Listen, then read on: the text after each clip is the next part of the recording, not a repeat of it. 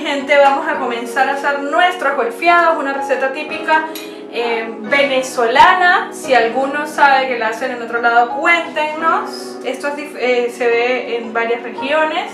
Tengo por aquí la levadura, la leche tibia y lo que voy a hacer es darle comidita para activarla. En este momento una cucharada de azúcar, una cucharada de harina de trigo. Voy a mezclar y vamos a pasar a tapar hasta que se esponje. Entonces esta va a ser la esponjita de nuestros pancitos. Simplemente vamos a pasar a un lugar oscuro, cerrado, tapadito y dejamos que evolucione. Ok, mientras nosotros tenemos nuestra esponja en el horno, vamos a ir haciendo un almíbar. Yo por mi parte tengo la panela, o en este caso azúcar mascabo, que es lo que consigo aquí en Uruguay y aquí en la ciudad donde estoy específicamente, y viene en polvo. Con esto tendremos que hacer una miel o melado. únicamente lo que hago es agregarle un poquito de agua, en este caso tiene 30 ml, y lo meto a calentar en el microondas hasta que tenga una textura de caramelo. Si ustedes no tienen micro, si no les gusta usarlo, si consiguen la panela en bloques, hagan su melado en una ollita como se hace tradicionalmente. Y esto entonces a lo que esté lo vamos a reservar. Ok, tengo mi esponja por aquí ya elevada y ahora vamos a hacer nuestra masa. Vamos ahora simplemente a mezclar todos los ingredientes. Azúcar, el restante de leche, una cucharada de vainilla, obvio que yo le voy a poner un poco más, media cucharadita de sal, un huevisqui y una cucharadita de aceite. Esta receta lleva semillas anís.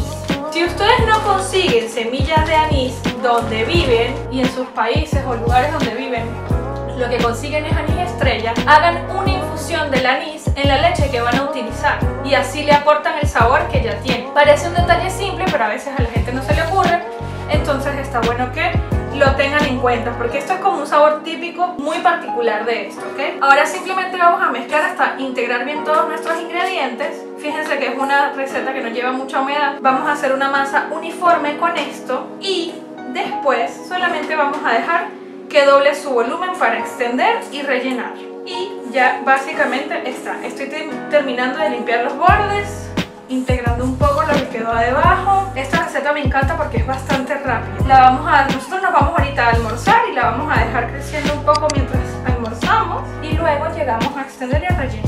Dejémosla allí y volvemos en un ratito.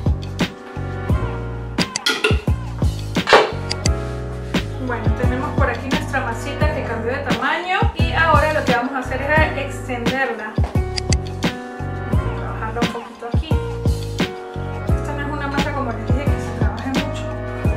Escuchan medio moribunda a la hora de respirar, es que bueno, ya estoy en los dos últimos meses de embarazo. Por eso también a veces Marquitos y yo tardamos un pelito en publicarles, porque hay días de días, ustedes saben. Bueno, ahora vamos a hacer un rectángulo con esto. Creo que en este caso voy a solicitar la ayuda de Marcos para que haga por favor un rectángulo lo más parejo que pueda. Les voy a dar un consejito que me dio una profesora hace muchos años, que era si por ejemplo les está quedando disparejo con la punta del rodillo, simplemente extiendan al costado y ahí van a irle dando forma. Entonces van poniéndolo más parejo. Digamos que sin hacer fuerza, simplemente él va a arrastrar un poquito más y entonces va a extenderlo como ustedes quieren. Bueno, ya tenemos nuestro rectángulo más o menos formado. Entonces ahora lo que voy es a ponerle el almíbar que preparamos previamente. Hermoso Plano tremendo. Vamos a dejarle un espacito. Básicamente voy a tratar de extender este que tengo acá lo más que pueda porque ¿qué pasa? Que con el calor acuérdense que va a escurrir un poco. Entonces si le huele, les huele a quemadito, no se preocupen tanto porque esta miel se va a ir deslizando por el pan y va a haber un momento donde les va a dar un olorcito como a caramelo quemado, pero es proceso natural. Voy a dejarle aproximadamente un centímetro para poderlo cerrar, exactamente. Entonces, de la miel que me salió, del melado que me salió, voy a colocar aquí una parte y luego, al final, ya cuando estemos por retirar, le vamos a poner el melado arriba. Vamos a agregar más semillitas y ahora viene el toque especial de la receta que es agregarle el queso. Básicamente es hacer unos pancitos dulces. Entonces ahora simplemente vamos a enrollar. voy a hacer algo que se me estaba olvidando. Ah, Se me olvidó la última vez, es ponerle más azúcar, pero esta vez se la voy a colocar en polvo. Porque si entonces así el melado se le pierde, esta va a quedar integrada en el queso y no va a dejar que se vaya. pinche Entonces, Va a sabroso. mantener, apretamos bien aquí para sellar. Es como hacer un rol de canela, pero esta es la versión venezolana. Les iba a comentar también que bueno, cada quien tiene sus formas, hay recetas de recetas, hay quienes levan muchísimo más la masa. Nosotros la levamos aproximadamente una hora recetas de recetas. Esta es la que yo conozco, es una receta que me parece súper práctica. Es la misma masa que utilizo para hacer los roles de canela. Es una receta que es fácil, me funciona, es supremamente económica además porque lleva muy pocos ingredientes, entonces yo se las recomiendo mucho. Miren qué lindura, voy a ponerle por acá adentro un poco, sí. Y entonces aquí voy a proceder a sellar.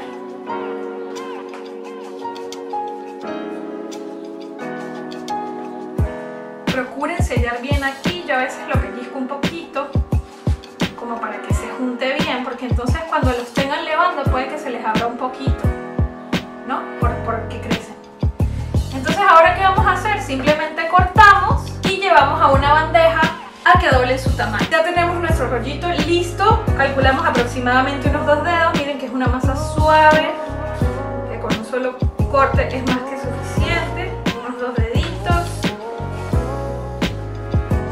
Y luego entonces vamos a poner en nuestra bandejita, vamos a elevarlos unos 20 minutos aprox. Y ahora simplemente posicionamos, déjenme colocarlos acá y ya les muestro cómo. Aquí tenemos nuestros golfeados pre-horneados, son nuestros rollitos. Vamos a dejar que crezcan un poco, fíjense que les dejé un espacio por si crecen, no se nos peguen tanto. Si se nos pegan, bueno, es solamente desprender. Entonces vamos a dejar que doble su tamaño. Llevamos al horno a 180 por aproximadamente unos 20 minutos sin descuidar. Y cuando vayan unos 15 minutos, ábranlos, véanles el colorcito, tienen que quedar levemente dorados. Y vamos a pasar a ponerles estos por encima. Entonces nuestros golpeados están listos para reposar, próximamente hornear y después para comer. El almíbar tiende a escaparse un poco, entonces ¿qué vamos a hacer? Con el poco de almíbar que dejamos, les vamos a terminar de dar color por encima a todos y vamos a agregarles un poco más de queso que dejamos del que rayamos previamente. Entonces aquí solamente vamos a hacer esto dejamos que terminen. Fíjense que aquí ya ellos comenzaron a dorar un poco. No les falta mucho tiempo de horno. Pónganle unos 5 a 8 minutos máximo, yo creo. Y ya está. Igual van cuidando.